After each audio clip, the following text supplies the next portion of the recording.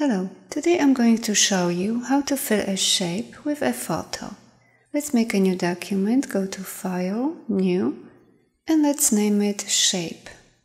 Set the width to 1080 and the height to 720 pixels.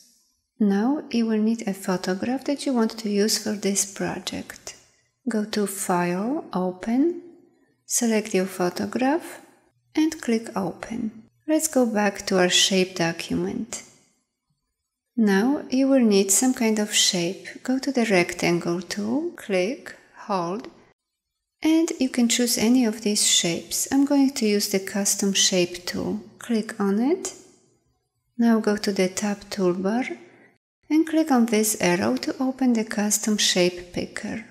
Select the shape that you like and click away to close this window. Now click on the canvas, hold, and while pressing down the Shift key, drag the mouse out to draw your shape.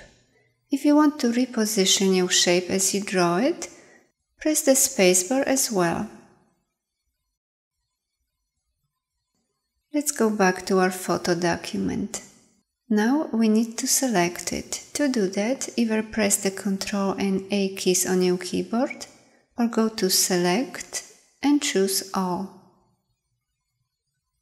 Next we'll copy it. Either press the Ctrl and C buttons or go to Edit and choose Copy. Next, go back to your shape document. Now press and hold the Ctrl key and click on the layer thumbnail in the Shape 1 layer. This will select your shape. Next go to Edit, Paste Special and select Paste Into. Now, using the Move tool, you can reposition your photograph, resize it, or rotate it. When you are done, press Enter.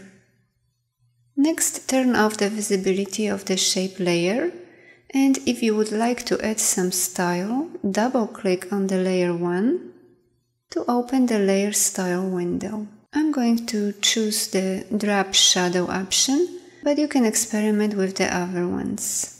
Thanks for watching. Bye bye.